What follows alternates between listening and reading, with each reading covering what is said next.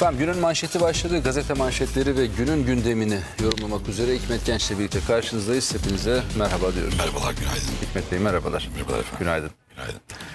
Şimdi e, başlıkları hızlı hızlı saymayayım. Zaten Evet. e, gruptan dolayı süremiz biraz azaldı ama Uk- Rusya-Ukrayna savaşı ile hemen başlayalım. Hızlı bir tur atalım buradan. Diğer başlıklarımız var. Onları da konuşacağız. E, görüşmeler sürüyor. En son e, Zelenski'nin bir açıklaması e, meselenin sona yaklaştığını gösterir nitelikte olduğu iddia edildi. O da şu. e, bu görüşen grupların tek amacı Ukrayna ve Rusya e, liderlerini bir araya getirmektir dedi. Bir kez daha Rusya Devlet Başkanı ile bir araya gelme isteğini bu savaşı işgali bitirmek açısından önemli olduğunu vurguladı. O görüşmede muhtemelen Türkiye'de olacak. Onu da altını çizmiş olalım. Bu birinci kısmı. İkinci kısmı bu oligark avı daha doğrusu sadece e, Putin'e yardım ettiği, Putin'in gizli kasaları olduğu iddiasıyla e, oligarklara yönelik hamleler Avrupa'da tüm hızıyla sürüyor. Biliyorsunuz Zıvana'dan çıkmıştı iş. Artık Dostoyevski romanlarından işte bilmem neye kadar bütün Rus edebiyatına yönelik de ambargoyu içerecek şekilde delirmiş bir Avrupa vardı. En azından orası biraz sakinledi o bölüm. Sayın Cumhurbaşkanı da biliyorsunuz konuşmalarında söylemişti. Evet. Abramovitz'in dünyanın en zengin isimlerinden bir tanesi Türkiye'ye geldiği yönünde bilgi var. İngiltere'deki malı mülkü neredeyse müsaade edilecek. Hepsi alınacak. Hatta malikanesine. Ukraynalıların geçici olarak e, Ukrayna mültecilerin sığınması, sığınmacıların yerleştirilme ihtimallerinden bahsediliyor. E, kraliçeden kiraladığı arazi üzerine 150 milyon sterlin ödeyerek yaptırmış olduğu ya da satın aldığı malikaneye el konulmuş. 10 bin dolarlık vergisini ödemediği gerekçesiyle. Böyle de bir durum var. Daha doğrusu el konulacak. E, 150 milyon dolarlıktı zannedersem ya da ne kadardı? 450 milyon dolarlık mı? Yatını son anda e, Hırvatistan'a kaçırmış orada. E, kendisi de önce İsrail'e ardından özel jetiyle Türkiye'ye geldiği yönünde bilgiler var. Evet. Bugün gazetelerin manşetlerinde Avrupa bir kovaladı oligark kaçtı diye. Bu bir birisi için tabii Bu bir geçerli. tanesi için Diğerlerinin geçerli. İngiltere'deki evlerine girdiler. Evet. Tepki olsun diye yağmaladılar. Vallahi çok oligarkların- evet vallahi yani medeniyet dediğin tek diş kalmış canavar. Yani şimdi bakıyorum da sağdan hele bizim bizim böyle Batı hayranı böyle vardır ya Batı hayranı mo- işte Beyaz Türk dediği Ertuğrul Özkök'ün ki cümle doğru bir cümle değildir ama onlar söylüyor diye kendileri tarif ediyor ya 1970'li yıllarda atletik yani adamdır. Ertuğrul Özkök biliyorsun duayendir ya. Beyaz Türk'ün dibidir yani. Keşfetmiş o kendisi. Türkiye'de Beyaz Onların Batı hayranlığı var. Bak, bak Batı hayranlığı çok da ahmakça olan e, bazı yönleri vardır. Bak bazı yönleri çok ahmakça, bazıları makul demektir. Cümle doğru mu bilmiyorum. O da şu. Niye buraya geleceğim? Şimdi diyorsun ki İngiltere işte hani İngiliz çok kibar olduğu için karanlıkta bile esnerken ağzını kapatırmış mesela zarif insanlar falan. Ama bakıyorsun köle ticareti dünyadaki en büyük İngiliz tarihine baktığın zaman Yani dünyadaki bütün melanetlerin altından işte çıkıyor bu zihniyet. İspanyol, Portekizler çok babacanlardır. En fazla katliam kesen tipler falan yani. Şimdi bu nereye geliyor? Şunu demek istiyorum. Bu aslında bir şey daha gösteriyor. Hep böyle Müslümanlara ve İslam coğrafyasına saldırı olduğu zaman hem balinalar da ölmesin, şu insanlar da ölmesin diye. Batı lap diye birbirine girince, hani batı diyorum çünkü hep mavi göz sarışından bahsediyoruz. Çok sevilen hani. Girince bir bakıyorsun, aa o onun yatına koyuyor, o onun e, maskesine dokunuyor, o onun dezenfektanını alıyor. Ya iki- 250 bin Ukrayna gel kim alacak diye bakıyor. Arkasına bakıyorlar. Bir ara diyorsun ki, Ruslar çok pis insanlar. Neden? Ulan işte mü- müziğini dinliyorsun. Dünyadaki en büyük klasikler Rus besteciler.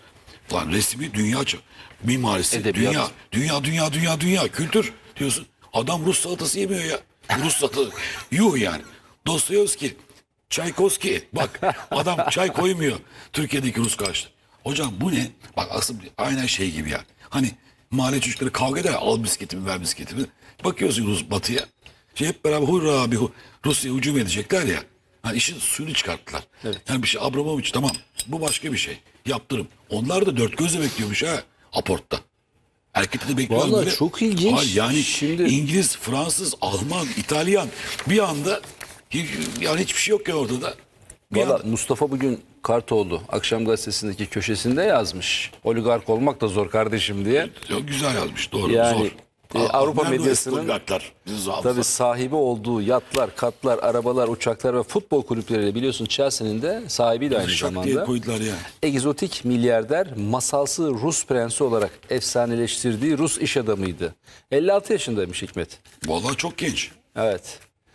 Bi- bi- Biyografisine bakmış Mustafa nedir ne iş yapıyor. Yani herkes oligark diyor da ne iş yapıyor? 1992 yılında iş hayatına başladı diye Wikipedia'da yazmış ama ne iş yaptığı falan yazmıyor. Vay be. Tabi bunlarla ilgili bir sürü yazı var. Yani e, Nasıl da zengin olmuş değil mi 1980'lerin başında işe tamircilikle başlamış, oyuncak üretmiş. Sovyetlerin yıkıldığı 90'ların başında Rusya Başkanı Boris Yeltsin ve oligarkların babası Boris Berezovski'ye yakınlık kurmuş, ortak işler yapmış. Rusya'nın en büyük petrol şirketlerinden Stibneft var. Onunla petrol işine girmiş vesaire vesaire. Bayağı bir detaylı anlatmış ama şuraya bu geliyor. işe KGB el atmış. Evet. Ee, mesela bu oligarkların babası denilen Boris Berezovski İngiltere'ye kaçmıştı. Orada öldü bir şekilde. Açıklamalarından bir tanesinde e, bu oligark dediği e, Roman Abramovich'in hisselerini çok ucuz bedelle zorla aldığını iddia ediyordu. 13 milyar dolarlık serveti var. 2019 İyi para. itibariyle. Yahudi asıllı. Evet e, yani zengin olmasından şüphelenmiştim zaten. Altına, Fazla altına özellikle çizerek söylüyorum bunu. Çünkü Yahudi organizasyonlarına 500 milyon dolardan fazla bağış yapan bir isim. Mustafa araştırmış bunların hepsini. Ee, Yahudi asıllı olduğu için İsrail ve Engizisyon'la kovmanın özürü olarak Seferat Yahudilerine Seferat. vatandaşlık verdiği Türk için. Portekiz vatandaşı olmuştu. 2021 yılında. Evet parayı verdi düdüğü çaldı diyor. Rus oligark ifadesi kulağa hoş geliyordu. Putin'in oligark oldu birdenbire bu savaş nedeniyle. Chelsea kulübünün kaşkolluğunu bile alamadan terk etmek durumunda kaldı. Evet, İngiliz kraliyetinden kiraladığı malikaneyi de Hırvatistan'daymış Karadağ'a çekmiş e, yatını. Portekiz vatandaşlığından atıldı. Buna aracı olan hahama dava açıldı. Çağdaş. İllegal yaptım falan Çağdaş diye. batıya hiç yakışmayan Aynen. hareketler bunlar. Bunları beğenmiyoruz Aynen biz. öyle. Avrupalılar Çağdaş parayı da Batı'yı aldı elinden. Düdüğü de dün elini öpenler bugün tek, tenekeyle kovalıyor. Avrupa'da oligark baharı bitti. En azından mevsim değişene kadar oligark, oligark olalı böyle zulüm görmedi. Evet. Diyeceksiniz ki Allah başka dert vermesin. Haklısınız demiş. Bu Vallahi- işin bu işin dediği gibi oligark kovalamak kısmı. Geçen bir yazı okudum. Çok da hoşuma gitti. 24 Şubat'ta başladı değil mi Hikmet bu? Rusya'nın e, Ukrayna'yı işgali. Doğrudur, evet. Bugün 20. günü bildiğim kadarıyla. Gün gün sayıyoruz. Bunun öncesinde Rusya bir sürü açıklama yaptı. Diyor ki, deniyor ki ya da hakikaten öyle. Bu işgal olmayabilirdi. Nasıl olmayabilirdi? Bunlar planlı programlı tabii herkes hazırlandı ama işgal şöyle olmayabilirdi.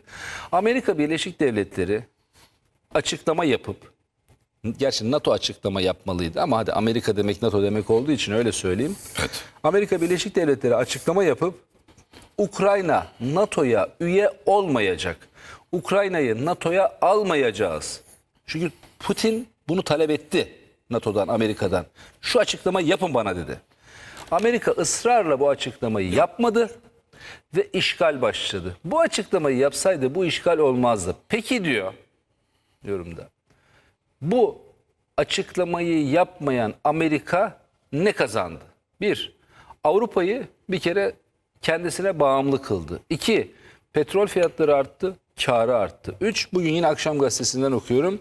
ABD savaştan kazanmaya başladı bile. Almanya yani 100 milyar avroluk bir bütçe ayırmıştı ya Hikmet abi.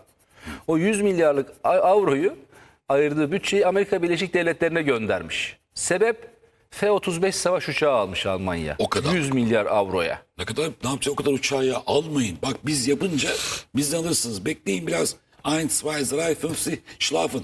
Yani 1, 2, 3 uyu bekle. Bir hani derler Araplar. Tam konuşacak hemen konuşma. Bir yutkun. Ebla arigak. Yani bak Almanca söyledim. Ondan sonra Arapça söyledim. 100 milyar avro. Yorum enteresan. Bir cümle daha söyleyeyim Yoruma mi? aslında çok katılmıyorum bir tarafına. Bir, Evet. bir, bir kelime daha ekleyeyim bu yorumunla ilgili olarak. Bu F-35 savaş uçağı ile ilgili proje ortaya çıktığında 3 yıl önce Almanya dedi ki ben F-35 almayacağım arkadaş. Tabii. Benim ihtiyacım yok. Tabii, İstemiyorum. tabii. Paramı da buraya harcamak istemiyorum dedi. 3 sene önce. Tabii.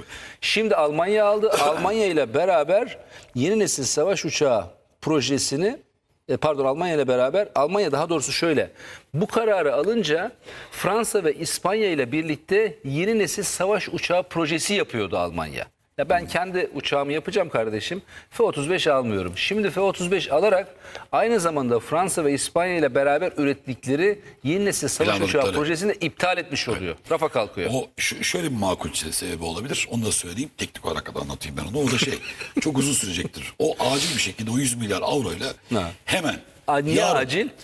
Çünkü Amerika'nın paraya ihtiyacı var. Yani para ihtiyacı var. Aynı anda ve sıcak bir şekilde savaş sesleri geliyor. Bir projeyi geliştirmek. Yani öyle bir proje, uçak Abi projesi. Almanya'nın öyle- savaşla ne alakası var? Hayır. Tabii alakası olduğu için zaten bak oraya geldik. Ben zaten o yüzden katılmıyorum dedim. Almanya oraya parayı veriyor. Amerika ne kadar kazandı. Bu çok şey bu, bu önümüzdeki günler ve yıllarda tartışacak mesela kim ne kadar İlk kazandı. adımı buydu. Ama ama ben Amerika'nın ne kadar kazandığı konusunda da çok ciddi şüphelerim var. Hep bu tür şeylerde yani hani Amerika bir şey deneyeceğim ben ilk o öyle söyledi. Herkes aynı şeyi söyledi aslında. Amerika az savaşın şeyi sebebi savaşı çıkartan Amerika'dır. Net. Savaşı çıkartan ülkedir. Bak burada şimdi Ayşenur Aslan öyle demiyor ama. Rusya'ya güzelleme yapmıyorum. Yanlış anlaşılmasın. Ayşenur Aslan öyle demiyor ama. Ya aynı Ayşe abi ne diye o ne? Doktor kendi haline bırakın. Savaş, savaşı Erdoğan çıkar. En çok onun işine yaradı Doğru, diyor. doğru, o da doğru. O da o da hakkıdır. Yani o kendi haline bırakmak lazım bir millette. Ama şöyle bir şey var. Amerika savaşı çıkartan ke- kesim doğru. Amerika'nın yeni bir takım dünyada proje var. O da doğru. Rusya'nın yok mudur? Rusya'nın da vardır. Rusya bugün Ukrayna ise e, benim şeyim benim gölgem daha büyüktür deyip Polonya ve Almanya'ya kadar da gider. Olmuşluğu da vardır tarihte yani çok eski değil. Ben daha önce söylediğim ve Batılı'nın yorumuna göre mesele şu. Hani kendi aralarında biraz önce ne dedim? Bu medeniyet anlayışı bunlar budur. Adamı bu oligarkı vatandaşlıktan çıkartır. Rus salatası yemez. Küfretmeye başlar. Birbirine girerler. 50 milyon kişi ölür. Bunlar artık olmaz demeyin derken kastettiğim de o. Almanya'nın silahlanması bile diğer çok sıkı çok sıkı müttefiklerini rahatsız etti. Fransa'yı ve İngiltere'yi. Bu şu andaki think tank kuruluşların da düşüncesi bu. İçimizde bir ülke niye bu kadar güçlense ki biz kendi ordumuzu kuralım derken Almanya tek başına karar alıyor. 100 milyar avro ile. Bu çok büyük para. Bunu bir köşeye koyayım. Ama Amerika kazandı mı? Bak ben bazen bazı şeylerin sonunun başlangıcı olarak kabul ederim. Mesela Amerika'nın bu hamlesinin acaba tam tersine evrileceği bitişi mi olacağı? olabilir. Mesela dolar. Mesela doların dünyada o kadar yaptırımla birlikte doların dünyadaki gücü eskisi gibi olmayabilir mi? Yeni bir finansal e, sistem kurulabilir mi? Mesela Çin şu anda hala sessizde. Bütün bunları üstüne koymak lazım. Ama şu var. Hani abi bu, bu deminki şaka gibi girdim ama gerçekten şaka yapmıyorum. Al, Almanya'nın acil ihtiyacı olması sebebi sıcak bir bölge içer. Yakın, yakın bir bölge çünkü. Yani Almanya daha önce PKK, YPG mayın gönderiyordu. Ne, ne problem yok. Koalisyon güçleri de orada. Ben de buradayım. Mü- Şey, e, mülteci gelince de Türkiye üzerinden geçecekler diyordu. Ama şu anda Almanya'da geleceğiyle ilgili ciddi endişeleri var. Ve hemen bunu bir şekilde defansif bir dış politikayla düşünüyor. Ama ilk başta söylediğim espri değil. Yanlış yaparsınız Almanlara sesleniyorum. Alman dostlarımıza biliyorsun tarihte savaşmadığımız bir millettir Almanlar. Alman dostlarım sesleniyorum. Türkiye'yi takip edin. Eğer Türkiye'yi takip ederseniz Türkiye'nin Kızıl Elması'na bakarsanız Türkiye artık 2030'larda önümüzdeki 8 dil 10 yıl diyelim içerisinde F-35 demode bir uçak modeli olarak kalacaktır. Al- Allah ömür verirse göreceğiz. Bunlar da kayda geçsin. Dünyanın geleceği artık robotçu savaşlar artı insansız hava araçlarına geçecektir. Ve Türkiye bu adımı. Türkiye çok geriden gelip bütün bu 100 yıllık geçmişini kapatarak geride kalmış ve ilerleyemediği o kısır dönemleri kapattı örttü. Yeni bir dönem başlıyor. F-35 değil. Gelin Türkiye beraber biz bir- şekilde hava muharip uçaklarını geliştirelim. Çok çok çünkü ciddi bir çok sağlam bir yerleşik altyapısı var, teknolojisi var. Türkiye bir sonraki nesle bakıyor. O yüzden bu tabii başka bir e, şey teklif Almanya. Şimdi bir- Ama kim kazanıyor, kim, kim kazanıyor, kim kaybediyor daha çok erken konuşmak diye düşünüyorum. Finali şöyle yapalım. Diğer başlıklara geçmeden önce bir dostum şimdi göndermiş. Ya diyor bu mesele diyor. Kenan Evren'in diyor darbe için şartların oluşması bekledik sözü gibi diyor. Amerikan ve Amerika'nın savaş sanayi mal satması lazım. En nihayetinde bu malı satabilmesi için de bir ortada savaşın olması lazım. Amerika'nın e, seni Doğru. NATO'ya almayacağız demekle engelleyebileceği bir savaşı bu sözü söylemeyerek e, artık bu sözü Amerikan savaş sanayi mi söyletmedi? Çünkü Amerika'yı yönetenin aslında daha doğrusu yönetenlerden birinin Amerikan silah sanayi olduğunu dünya alem bilir. Dolayısıyla böyle bir savaşın çıkmasını acaba o Kenan Evren'e de bağlayarak şartların oluşmasını bekleyen Amerika gibi, e, Türkiye gibi Amerika'nın da şartları oluşturup silah sanayinin Çok devreye doğru. girdiği yönünde bir doğru yorum var. teşekkür ederim buradan. Selamlar. Şimdi birkaç gün üzerinde e, tepindiler. Bu Erdoğan'ın Türkiye'deki tüm doktorları elinin tersiyle ittiği, doktorları adam yerine koymadığı, bunlar söylendiği için ifade ediyorum. Yani etrafınızda vardır, yakınlarınızda vardır, e, akrabanızda vardır doktor olan ya da sağlık çalışanı olan. Şimdi bu aynı mevzu bu Kobani meselesine geldi. Hani Obama'ya açıklama yapmıştı ya HDP alıp bunu evirip çevirip farklı bir şekilde kullanmıştı. Hani ya arkadaş yardım etmek lazım. Bak orada IŞİD denilen e, şey e, oluşum terör örgütü orada Kürtleri çok zor durumda bırakıyor. Mutlaka yardım etmek lazım. Yoksa düştü düşecek cümlesini alıp sanki Erdoğan oranın düşmesini istiyormuş gibi bir karşı propagandayla e, muhalefet yapmıştı ya HDP. Bu tıp çalışanları, doktorlar diyeyim, sağlık çalışanlarının tamamı için doktorlar için de Erdoğan'ın benzer bir şekilde sözler söylediğini marjinal bir grup ifade etti. Anlayan anladı zaten bu meseleyi ama bunlar kendi içlerinde Türkiye bağımsızlık mücadelesi verirken e, savaş bir insanlık e, suçudur mu dedi, hastalığı mı dedi, böyle saçma salak bir şeyler atan. Sağlık sorunudur. Sağlık sorunudur diyen Türk Tabipler Birliği yine aynı mevzuyu aldı, evirdi, çevirdi. Erdoğan şunu söylemişti. Dün bayramı 14 Mart tıp bayramı ne- nedeniyle bir kere daha tekrar etti onu. Erdoğan dediği şuydu. Yani bütün bu yaptıklarımıza, Türkiye'nin sağlık alanında attığı adımlara, yaptığı yatırımlara vesaire vesaire rağmen bak giderim ha, gidiyorum bak, bak bak bak beni buradan istiyorlar, bak kaçar giderim ha cümlesini ard arda tekrarlayan bu e, Türk Tabipler Birliği'nin tırnak içinde söylüyorum hedefine e, adanmış doktorlara yönelik sözlerdi. Ben öyle yorumluyorum bunları. Gidersen git kardeşim yani gitmek isteyeni zorla tutacak halimiz yok. Kalanlarla idare ederiz. E, takviye gerekirse de o takviyeyi bir şekilde yaparız cümlesiyle durum tespiti yapıyordu. Şimdi bunu söyleyen Erdoğan'ın bu sözlerini çarpıttılar. Dün Erdoğan tıp bayramı nedeniyle 5 sağlık çalışanlarına 5 müjde verdi. Onu hızlıca söyleyeceğim. sağlık çalışanlarının ücretlerinde yaptığı bir iyileştirme vardı hükümetin. Emekliliklerine de yansıyacak bu. Sağlık Bakanlığı döner sermaye dağıtım sistemi döner sermayeden ödeme yapılmayan hastanede hastane kalmayacak şekilde döner sermaye etkinleştirecek. Aile hekimlerinin temel ücretlerinde de artış yapılacak. Tüm sağlık mensuplarının muayene teşhis ve tedavi ilişkin uygulamaları nedeniyle önüne gelen dava açıyordu. Ceza soruşturması açılabilmesi kurul iznine bağlanacak. Merkezi yönetim bütçesinden performans ödemeleri için ilave kaynak aktarılarak sağlık personelinin döner sermayeden alacakları ek ödemelerde artış sağlanacak. Bunun yanı sıra biliyorsun e, CMK'ya eklendi. Sağlık çalışanlarına şiddet e, neredeyse ağır cezalık falan suç haline e, geliyor. Bununla ilgili olarak da çalışma tamamlandı ya kanunlaşıyor ya da kanunlaşmak üzere.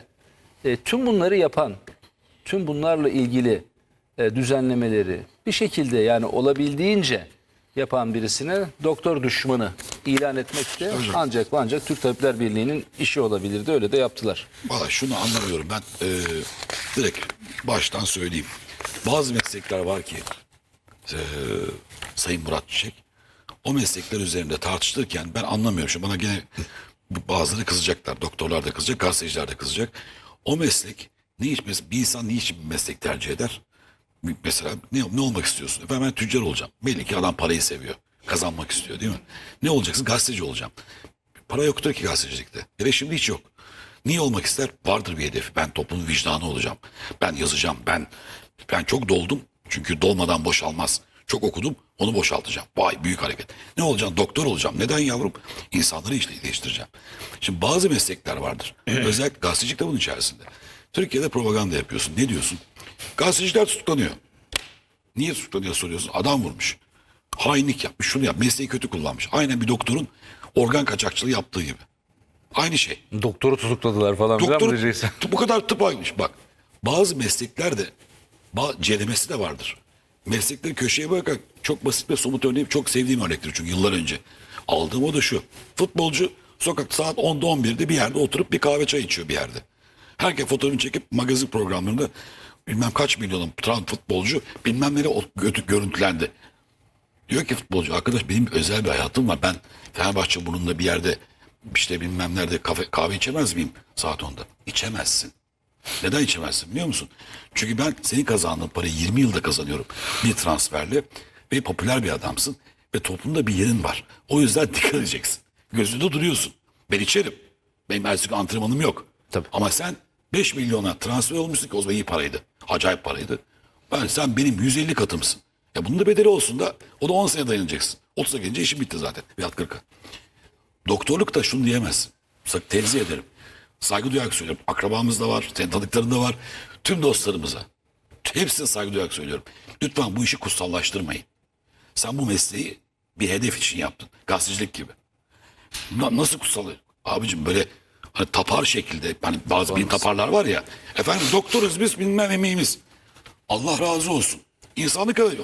Hipokrat. Nerede Hipokrat? Nerede yemin? Hipokrat yemininde yazıyor mu böyle şeyler? Şu kadar mesai yaptık, bu kadar çalıştık, buraya geldik. Zaten bunun mesaisi de belli, çalışma şartları da belli. Eski doktorlar aşağıda okumuyor musunuz, görmüyor musunuz? Neler yaşandı? Hasta içeride rehin, doktor da rehindi. Çünkü bir günde bilmem kaç yüz hastaya bakıyordu. Şimdi bu efendim haklarımızı bilmem şudur. Ya şu andaki şartlarda çok daha iyi şartlardasınız. Fakat bana hiçbir doktor veya doktorları tıbba bilmem ne onları koruyacağız diye bunu böyle iyice tabulaştırıp ondan sonra dokunulmaz, konuşulmaz, hakkında hiçbir şey söylenmez bir meslek. Aynen gazeteciler yaptıkları gibi. Adam bildiğin devletin evraklarını satmış. Bunu da orada Almanya'da itiraf etmiş Can Dündar. Gazeteciler tutuklanıyor diyor. Ya hainsin, alçaksın. Aynen. Aynı zamanda yanlış örnek olarak anlaşılmasın. Bugün dünyada e, organ mafyası gibi şeylerden bahsediyoruz. Onu da sen ben yapamayız. Bir böbreği alıp çalmak. Doğru. Yani bunu yapan insanlar da o da hepimiz insanız ya. İnsan oluyoruz yani. Şunu görmek lazım. Herkes öyle söyledi ben de bir cümle söyleyeyim. Kızacaklar dövsünler olsun yarın e, duyacağım bakalım iki ne diyecek. Bu ülkede doktorluk tıp okuyacaksın 6 yıl bilmem ne kadar pahalı bir eğitimdir doğru. Ben bunu daha önce, çok daha önce söylemişimdir. Arkasından çıkacaksın. Efendim ben burada 8 bin liraya para kazanıyorum. O Almanya'da gideceğim 15 bin euroya kazanacağım. Ben benim gözümde yani gidebilir, gelmeyebilir.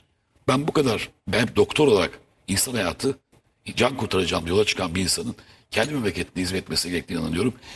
5 bin dolar değil 1 milyon dolar bile ver- verilse bir insanın bir çocuğun hayatının özel kendi topraklarında yaşadığı ve ekmeğini yediği milletin kazandığı paralarla burada okuyan bir insanın para için oraya gitmemesi lazım. Şartlar için oraya gitmemesi lazım.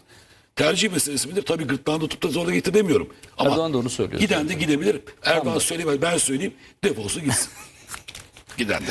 Tam da onu söyledi zaten Sayın Cumhurbaşkanı. Bu kelimelerle değil o- ama. evet, Salih. Tuna'nın yazısı var. İnadına gitmiyoruz diye. Güzel bir yazı hoşuma gitti. Gideriz. Bak gideriz ama kesinlikle gideriz. Bu ülkede yaşamak istemiyoruz. Biz gidiyoruz. Ne haliniz varsa görün. İnadına gidiyoruz. Bu cümleler e, hani hatırlayacaksınız sosyal medyada falan da çok yorumunu yapıyoruz ya. Türkiye bir doktor kaybetti. işte İspanya bir doktor kazandı. Ya da Türkiye bir mühendis kaybetti. Ya Almanya bir kurye kazandı falan diye. Abuk sabuk saçma sapan şeyler yapıyorlar ya.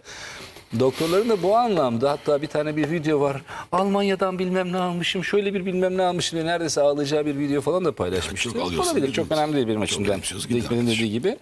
Onunla başlamış Salih Tuna. Gideriz ha yollu onca tehditten sonra giderseniz gidin. Ne yapalım? Kalanlarla devam ederiz. Karşılığı alınca biz doktorlar buradayız. İnadına hiçbir yere gitmiyoruz. Demenin başka bir izahı yok diyor. Yani hakikaten komik. Eline yüreğine Hem sağlık gideriz gideriz abi. gideriz diyor. Onlarca laf yapacaksınız. Maaşımız şöyle değil, çalışma şartlarımız böyle değil. Avrupa'da daha çok para veriyorlar. Orada bilmem ne yapıyoruz. Bak gidiyoruz falan. E baba gidin o zaman ne yapalım yani biz de kalanlarla idare ederiz. E bakın aynı mevzuyu, aynı mevzuyu İngiltere Brexit nedeniyle yaşadı. Brexit'ten daha doğrusu Avrupa Birliği'nden çıktıktan sonra e, serbest dolaşım olduğu için e, doktorlar İngiltere'de herhangi bir şeye tabi olmadan çalışabiliyorlardı. Tüm düzenlemeyi anlatmıyorum. Elbette vardı bazı denklikler falan filan ama çalışabiliyorlardı. Avrupa Birliği'nden ayrınca bütün doktorlar ayrılmak zorunda kaldı başka ülkenin doktorları. Ne yaptı? Çözüm buldu çok rahatlıkla. Internleri aldı, doktor yaptı. Hemen şeye başladı. Tedbirlerini aldı etti falan filan. Başka ülkelerden teklifler şey yaptı. Bu dönem ben giderim giderim demelerin gerekçelerinden bir tanesi de o. Neyse geçtim orayı. Her şeyden evvel Cumhurbaşkanı Erdoğan'ın söz konusu tepkisi bu ülkeyi terk, te- terk etmekte tehdit eden doktorlaraydı. Tüm doktorlara değil. Hakkını arayan doktorlara ise hiç değil. Öyle olsaydı daha dün az önce açıkladım. Sağlık çalışanlarına yönelik saldırıların CMK kapsamında kataloğa dahil edilmesinden aile hekimleri dahil maaş ödeme sistemlerinde ve mali haklarda önemli iyileştirmelere kadar bir dizi müjde saymazdı Erdoğan diyor. Teklif ayrı, tehdit ayrıdır. Bu ülkenin yurtsever doktorları kendisini yetiştiren bu ülkeyi terk etmekle tehdit etmez. Kimsecikler Türk Tabipler Birliği'nin ve malum kriptoların seylaplarına kapılmasın, tehditlere boyun eğilmeyeceğinin ifadesi olan sözleri tüm doktorlara hasretmesin. Aslında fazla söze hacet yok. Sayın Erdoğan 14 Mart Tıp Bayramı dolayısıyla yaptığı konuşmada her şeyi açıkladı diyor. O açıklamayı veriyor.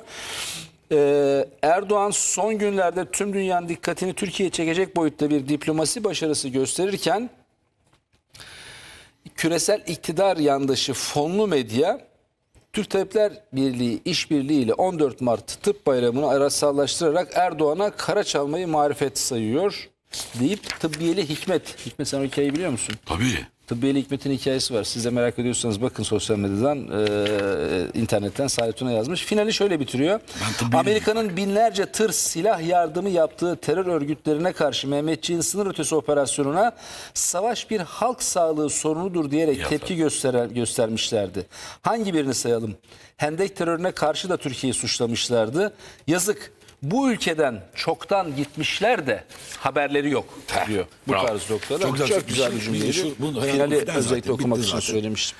Ee, ellerine yüreğine sağlık. Salih. Güzel damardan kendi güzel üslubuyla bize Bu arada dün anlatmaklar. da. Almanya Başbakanı buradaydı. Yarın e, Kim geliyor? İta- İtalya, Polonya, Fransa- Polonya Cumhurbaşkanı Duda geliyor. Tabii gelecek Onu da işte. hatırlatmış. Güvenli ülke bak Hatırlatmış olalım. Türkiye'nin o gölgesi var ya gölgesi oraya kadar gider.